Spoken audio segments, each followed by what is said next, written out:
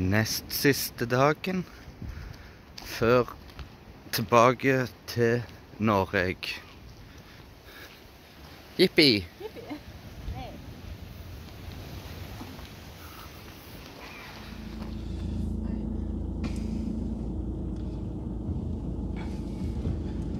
Nå er vi Skjeggy. Du er Skjeggy, og jeg er Strømmen Knut.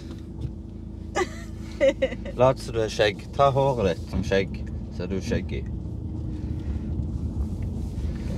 Fillen, det er sensurert skjegget ditt. Det er sensurert skjegget. Du er Bart. Du er Barti, da.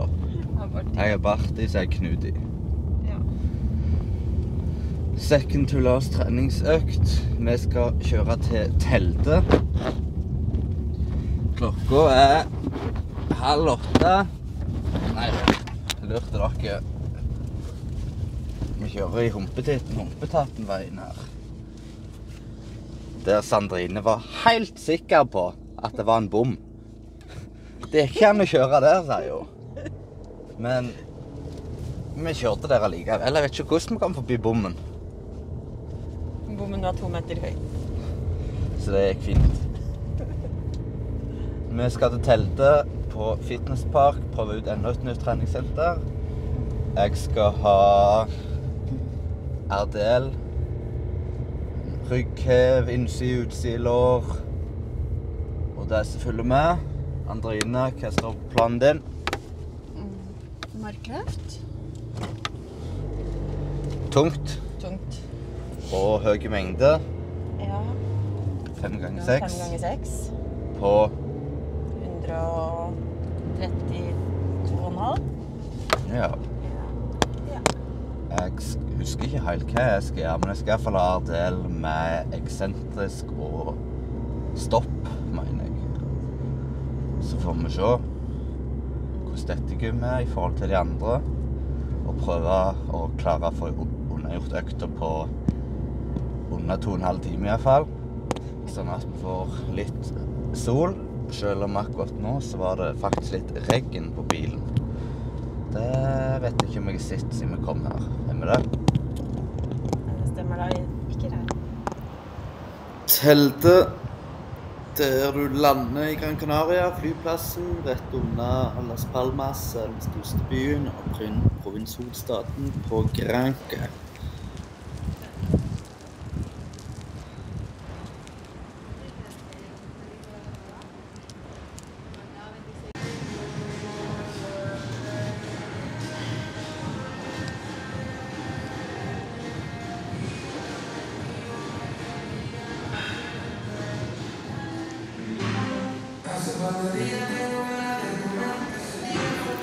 Til å være et kjedegym så er det relativt bra utstyrt. Jeg er ikke så fan av teknogym, selv om det er et stort, stort utvalg. Men ja, nei, jeg syns det er greit. Greit gym til å være sånn kommersielt. Handlene går ikke opp til mer enn 40, men det er gode muligheter for å kjøre markløft og knebøy. Har litt leikoutstyr og plater. Så vi skal ikke klage.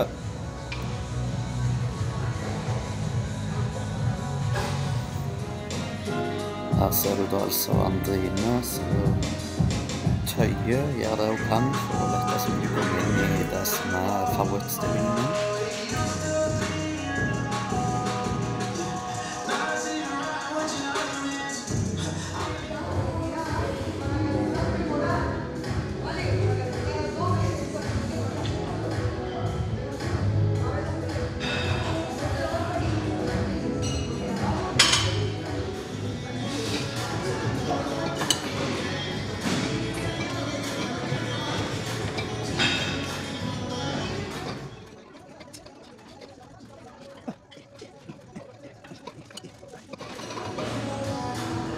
Kjenner den venstre hamstringen.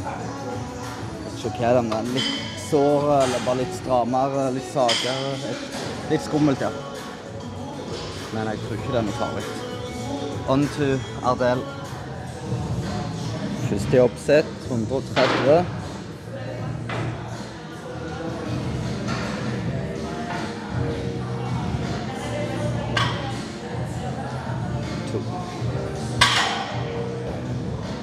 var det ikke. Det var 125.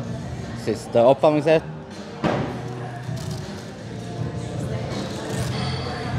Og nå er det 30. Ja, 132. 32. OK. Er du klar for det? Ja, Ja. Lykke til. Fikk vi beskjed om å hive på oss sko, sånn at vi kan stå på det bevegelige gulvet med bevegelige sko i tillegg. Så det var bra. Det bra. Prøvde å fortelle at grunnen til at markløft løfteplattformen er hard, er fordi det skal være hardt underlag når du markløfter. Men det, det var ikke, det var ikke innafor.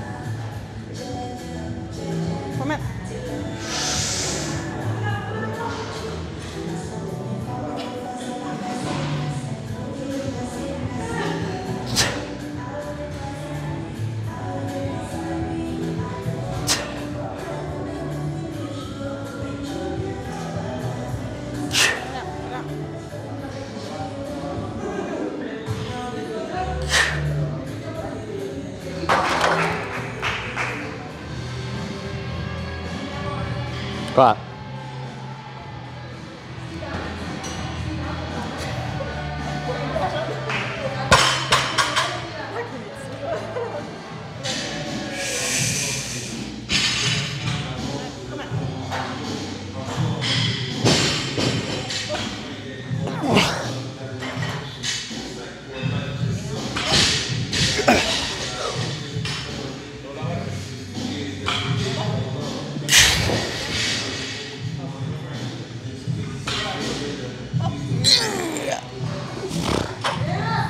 Tok noen reps på 132-130, autoregulert ned vektene. Nå på 122,5, 10 kg lettere. Kom igjen. Fokus hver rep. En. To. Tre. Bra. Fire. Fem. Seks.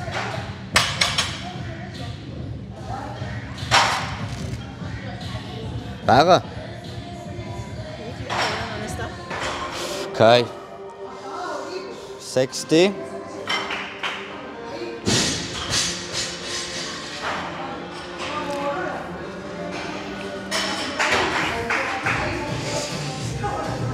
Sett nummer 100 000.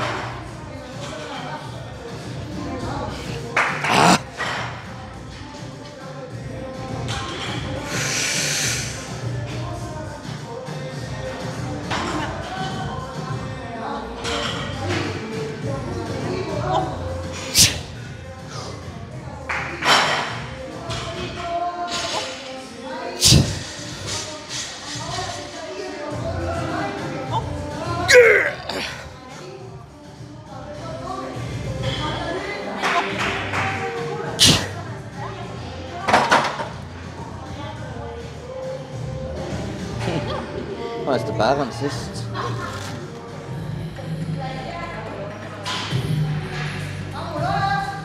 Femogtjue, kom an! Ja, mye bedre. Kom an. En. To. Tre. Kom an. Fire. Og tøff på den siste. Bra. 165.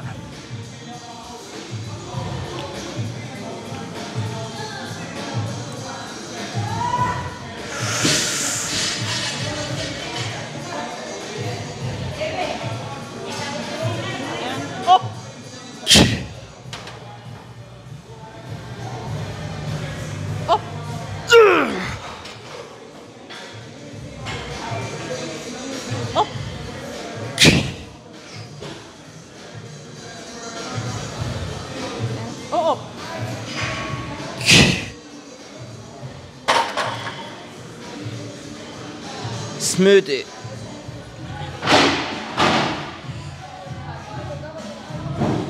Kom igjen.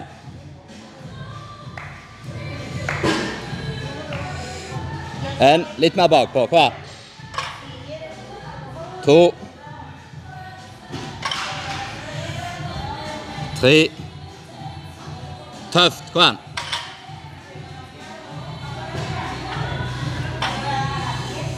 Fire. Hold rytme. Kom igjen. Er det en til? Ja, bare stopp. Ja.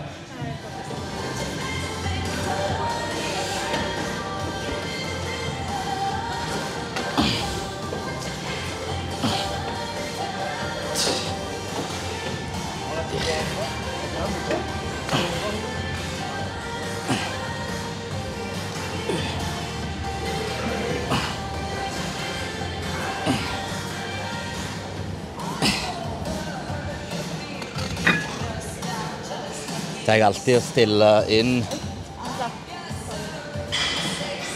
Ja.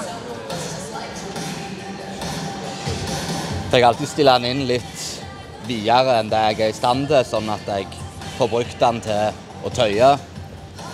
Setter jeg meg oppi, så vil jeg jo ikke få full range of motion, så jeg prøver alltid å stå sånn, og så setter jeg meg ned med spenn, sånn at jeg kan tøye i litt vanskelig akkurat i dag når jeg skal ha litt eksplosive repetisjoner, men jeg pleier å kjøre med stopp og sånn, så så er det litt viktigere. Men jeg, jeg gjør det uansett. Du ser på skjermen her, altså, tel, telte han jo repetisjonene.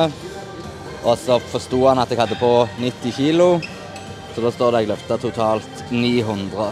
Så selv om jeg ikke er helt fan av teknogym, så er det jo litt kult akkurat at vi teller repetisjonene. For det er ikke Selv om vi kan løfte tunge vekter, så er vi ikke de beste til å holde tellinga. Tilfeldig du stilte deg til her, eller? Hm? Bruker du apparatet? Man bare sitter og ser. Jeg bruker det.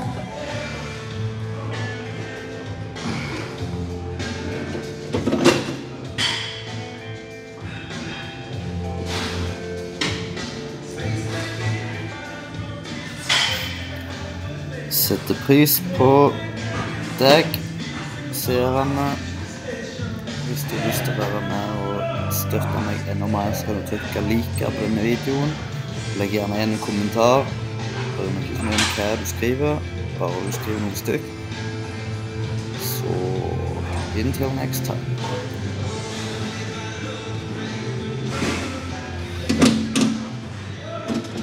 Finn noen 15 reppere avslutningsvis. Høy beinstilling, beinpress. Treffe setet og baksida. Han minner meg litt om en beinpress vi hadde på gymmen tidligere, som vi kvittet oss med fordi han var så lett. Han er sånn, måtte ha på 400 kilo for å ha motstand, men vektene var Det var en litt annen vekt, da, for det er ikke så lett her. Men du merker ikke så mye at du heier på vekter for det.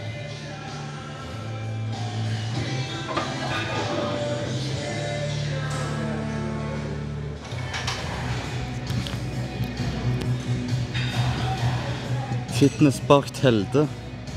It's a wrap.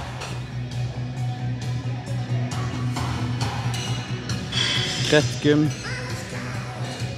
Litt mindre enn det andre fitnesspark. Eh, halvdyrt med 350 kroner for en drop-in for oss to. Så skal det nevnes en måned hadde kosta 700 så to drop-in er samme prisen som en måned. Men vi vil ikke ha mer enn ei økt. Vi har kjøpt ukeskort på det første gymmet, så Tid for frokost.